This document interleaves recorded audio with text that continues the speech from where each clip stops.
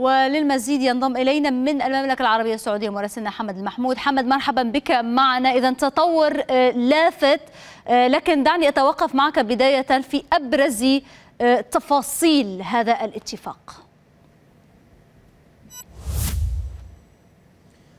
نعم إيمان بالفعل. يعني هذه الهدنة التي أعلن عنها المبعوث الأممي تأتي ربما في مثل هذه الظروف الإيجابية التي بدأت قبل عدة أيام هنا في العاصمة السعودية الرياض بعد أن أعلنت أعلن مجلس التعاون الخليجي عن استضافة كافة الأطراف اليمنية لمشاورات يمنية يمنية بدأت هنا قبل قرابة أربعة أيام للوصول إلى تفاهمات فيما بين الأطراف المتنازعة إن صح التعبير في الداخل اليمني. وإن كان لم تحضر كافة الأطراف إلى هذه المشاورات اليمنية اليمنية إلا أن الجو الإيجابي بشكل عام كان سائدا خصوصا مع حضور المبعوث الأممي لدى اليمن وأيضا بعض المنظمات والهيئات الدولية. وربما هذا التقارب بشكل إيجابي فيما بين كافة الأطراف في مثل هذه المشاورات هي من أنجحت قبول هذه الهدنة من كافة الأطراف في اليمن والتي أعلن عنها المبعوث الأممي لمدة شهرين. تبدأ من يوم الغد ووقف جميع العمليات الجوية والبرية والبحرية وأيضا فتح مطار صنعاء لرحلات تجارية محددة سلفا وكذلك فتح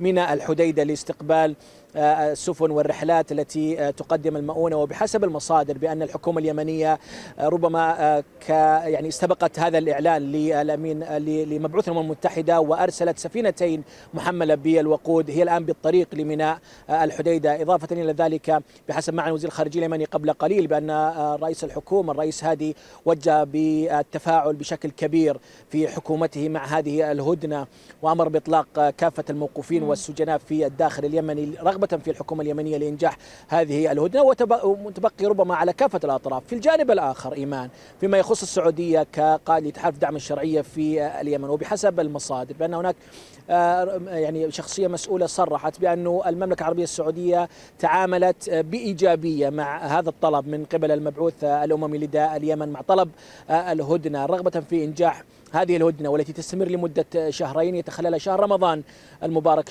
كاملا بنصف مدة نصف هذه المدة من الهدنة. وأيضا إن كانت هناك رغبة لدى كافة الأطراف ونجحت هذه الهدنة بإمكان تمديدها أيضا لمدد مماثلة. بالتالي نحن الآن أمام يعني تحدي كبير ليوم الغد بإطلاق هذه الهدنة وبدء سريانها والنظر إلى كافة الأطراف لتفعيل ونجاح هذه الهدنة. نعم نعم. اذا شكرا جزيلا لك حمد المحمود مراسلنا من السعودية.